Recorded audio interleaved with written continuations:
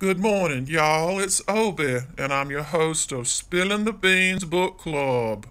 Feeling a little lazy this morning. It's so warm and comfortable and cozy underneath these sheets in my bed. Well, it's really not my bed, it's my mom and daddy's bed. They do let me sleep up here with them. Isn't that sweet? They're already up and at 'em this morning, but I'm going to stay here a little while longer. I can do this recording and club meeting from my bedroom. Is that okay with you all?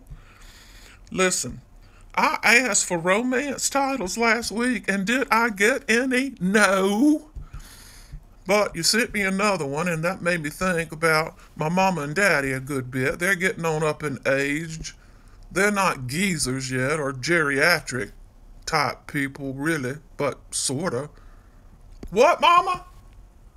What'd you say? I'm getting I'm getting to the title. The title is called Golden Years My a-, S S Adventures in Geriatric Indignity, and it's by Roger Welch. You can find him on Amazon. I'll put up the cover down below this recording. My mama's book's on Amazon too. She's a keeper. Cockamamie Memoirs from a Hot Southern Mess by Lee St. John. That's my mama. And she tells me sometime, What, mama? I gave him the title. Mama, okay. All right.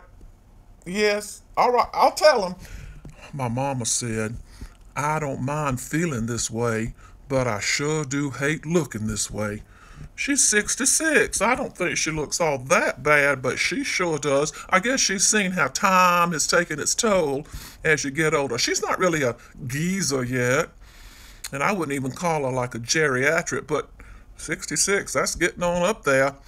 She tells me, Yes, I'll, yes, Mom, I'll tell her. She told me to tell you, you better get it while the getting's good. In other words, I think she means enjoy your youth while you can. I'm just five years old, and in dog years, I think that's like about 35. Well, anyway, Mama. Hey, Mama, you just better chin up, Buttercup. It's not that. You're doing fine. Well, find the book on Amazon, find my mama's book on Amazon, and don't worry too much about getting older. We're all getting older. And thank you for, for listening to me this morning. I'll see you next Monday. And are you ever going to send me a book on romance? I'd love it. This is Obi.